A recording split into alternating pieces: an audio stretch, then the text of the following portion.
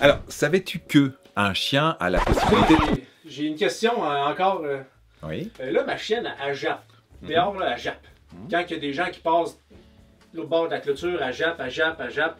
C'est pas possible comment ça, ça m'énerve, ça me rend, ça me rend fou. Puis là, je veux, je, je veux pas paraître d'un voisin qui s'occupe pas de son chien. Là. Puis là, à, à la job, on m'a parlé du collier électrique. Tu sais, pour arrêter les, les jappements. Fait que. c'est- hey, J'y pense. C'est quoi ton avis? Parce que là, je suis perdu.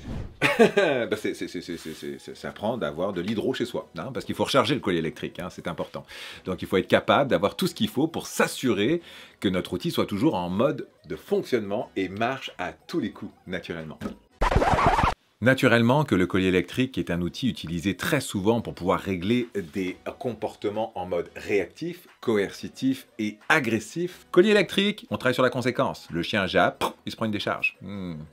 Ou une vibration, ou peu importe, un jet de citronnelle, ça arrive ça aussi. L'idée c'est toujours de se dire, on est en train de corriger ce qu'on ne veut pas que le chien fasse. Mais on ne lui apprend pas à avoir le comportement que l'on souhaite qu'il ait non plus. Et oui, il faut travailler sur la désensibilisation avant. Et oui, il faut travailler sur du contre-conditionnement. Et oui, c'est un peu plus de job. Mais c'est aussi la meilleure manière de bâtir un lien de confiance avec son chien. Parce que si moi aujourd'hui je suis votre meilleur ami, puis que je décide de vous mettre un collier électrique, et puis qu'à chaque fois que vous dites quelque chose qui me plaît pas, je vous envoie une crise de décharge, je l'ai dit pas sûr qu'on reste amis très très très longtemps. Ou alors, on va dire que le lien de confiance entre vous et moi va pas être nécessairement super fort fort. Puis je sais même pas d'ailleurs si à terme, vous allez pas développer vous-même un certain niveau d'agressivité en lien avec cette situation qui va faire que vous allez développer ce qu'on appelle de l'impuissance acquise. Alors pour répondre à votre question, euh, cher auditeur, oui, votre chien, vous pouvez lui mettre un collier électrique si vous le voulez, euh, sauf que maintenant, ça n'est quasiment plus accessible dans aucun commerce en, en animalerie. Puis deux, comme je vous ai dit,